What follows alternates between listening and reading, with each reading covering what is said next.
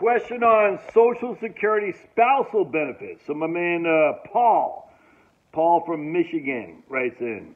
he truly appreciates my channel. Thank you, Paul. Um, and he says, "Is this true?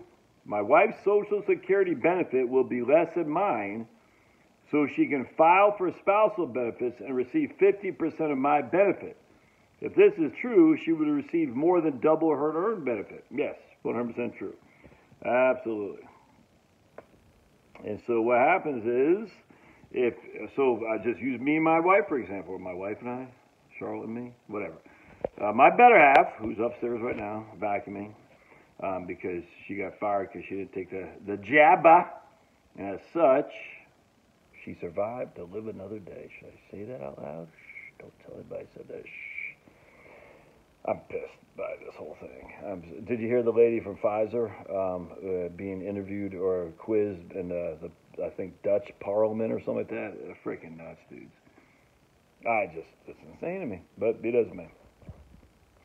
You have a choice. You weren't you weren't forced to do anything against your will. No government, at least here in the United States, don't put a gun to your head and said you had to do this. You were convinced. You were uh, you know you you you were convinced because you believed the quote science and uh, hopefully you never believe that again.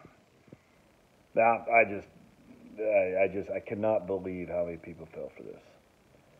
It's like how I, I, I just, I can't believe it. And the reason I say that is because of all the evidence of previous lies.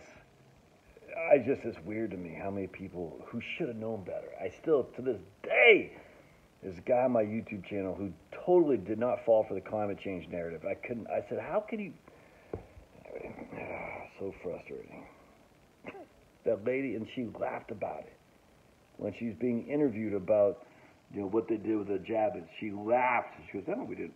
Uh, that's crazy. All right. Anyway.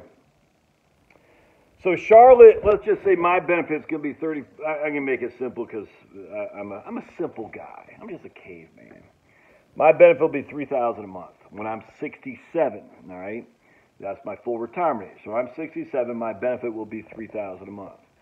My wife, Charlotte's spousal benefit will be half of that, 1500 a month. All right.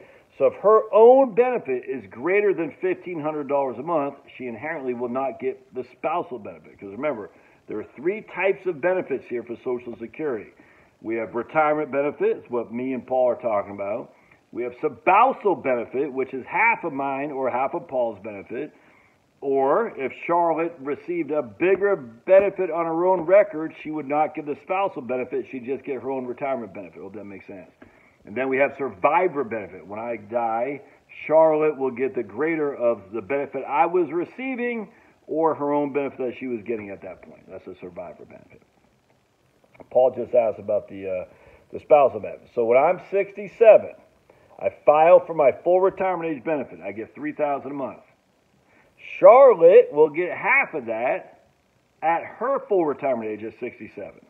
Now understand, if I file early, my benefit is reduced, my retirement benefit is reduced. Her spousal benefit is not reduced. The spousal benefit is contingent on when she files. I cannot stress this enough.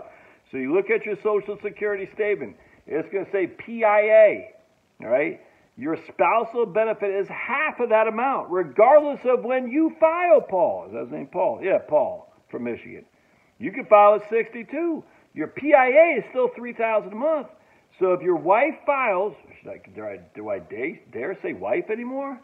If your wife files at 67, even if you filed early, she will still get half of that 3000 a month. I look, this took me forever because I'm just a caveman to figure this out. The spousal benefit is contingent on when the spouse files, your wife. I, I, I stress this because people screw this up because they don't understand. I didn't, I mean, look, dude, you know, I didn't understand this for the longest time. So again, going back to Paul here.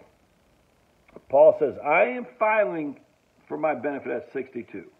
My benefit will just be 2000 a month because I'm filing early. All right?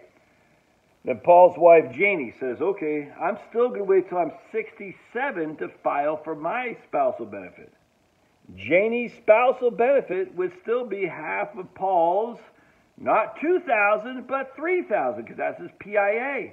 That's why I tell people in the right capital. I said always do not screw up the PIA. When you're using software, make sure you put the right primary insurance amount. The software will calculate it, but based on when you take the money out. But you, the PIA is everything. It's everything. Kind of like the Earth is the center of the universe. I know. I, I kind of chuckle because I can't wait to see how many people say, "You actually believe that?" Uh, yeah, actually I do. Is that okay? I have a, what is it called? The geocentric. I think the Earth is the center of the universe, and uh, people go crazy like, ah. I, frankly, I just I love poking the bears. It's fun. Anyway, so kind of like the Earth is the center of the universe. I just can't wait to see how many people. Ah, it's fun.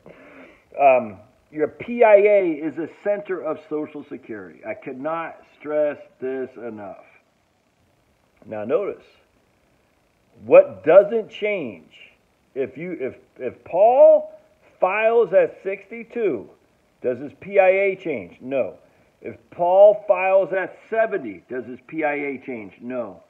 What's Janie's maximum benefit going to be?